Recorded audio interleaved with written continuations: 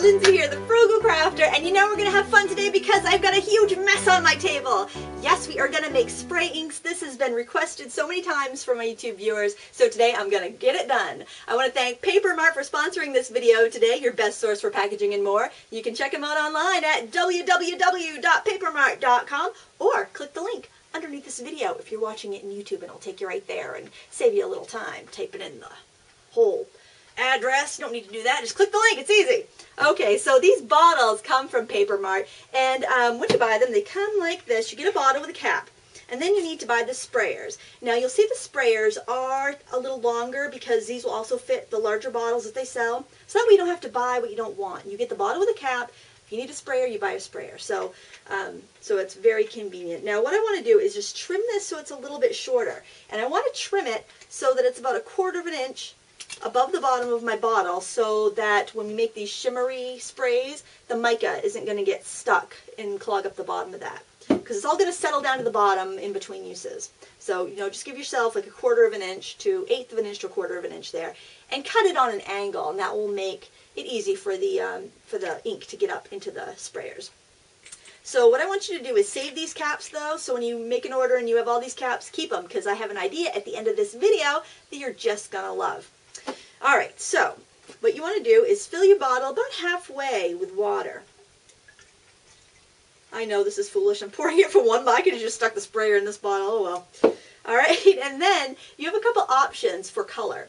You can use food coloring. You could use Easter egg dye pellets. You can use reinker, but you'll probably end up using up a lot of reinker, and that's a little bit more expensive.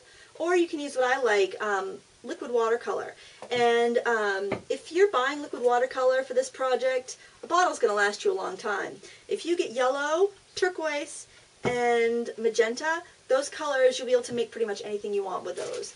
Um, you can buy sampler. This was a sampler pack from Dick Blick that had, uh, it was like a classroom pack that had um, 8 ounce bottles of 10 different colors. And since I teach a lot of classes, I do go through it, so I bought that. But just for this application, if you're just getting it for that, I would just get the three colors and mix it up. Or they do make, I'm not sure if Dick Blick makes them, but other companies will make the little tiny bottles and you can get an assortment for much less.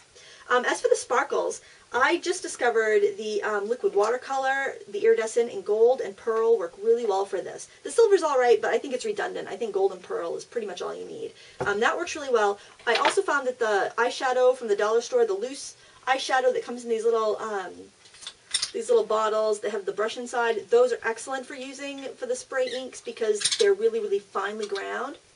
Um, I used to use Pearl Ex, and I found the micro pearl worked really well, but some didn't. Like the copper was too chunky, and it would clog up my sprayers. So um, I would just go to the dollar store and get that if you don't have access to the uh, iridescent liquid watercolor.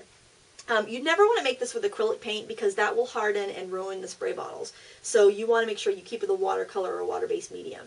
You could even squirt in a dab of um, look of just like a tube watercolor paint and that would work as well. But these liquid watercolors are super concentrated and I'll show you what I mean. They're just wonderful.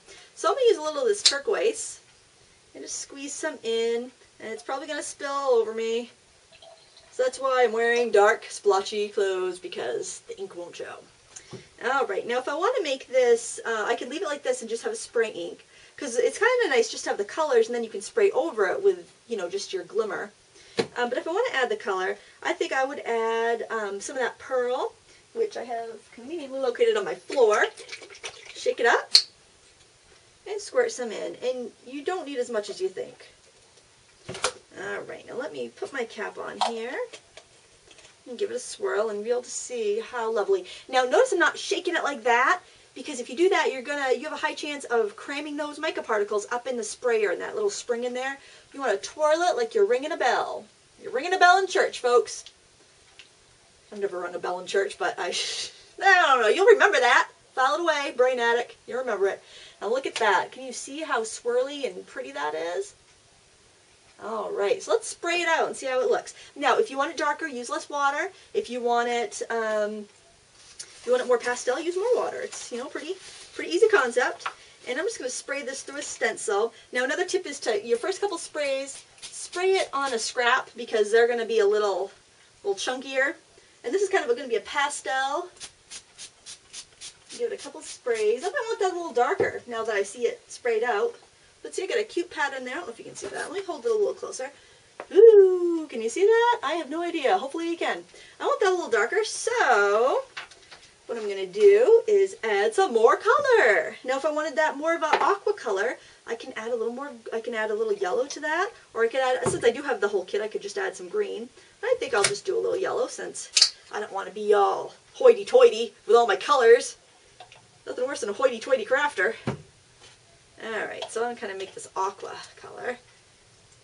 I like bright personally, but if you prefer more of a pastel shade, then you can go with your pastels. The thing is, you when you really, if you've got a lot of water in there, you're gonna it's gonna take a, quite a few sprays to saturate your paper, and uh, it might wrinkle on you. So keep that in mind too. All right, so I'm just gonna spray this. Yeah, I think I need it. I want it brighter. I'm not gonna want to put that much water on my paper. Take too long to dry. That's a little bit darker, and I could see, you know, and just keep adding as I go until I get just the shade that I want. Now these bottles come in a pack of 100, so, and sort of the sprayers, so this would be a good time to gather up your girlfriends and say, all right, I'm making an order to Paper Mart, what do you want?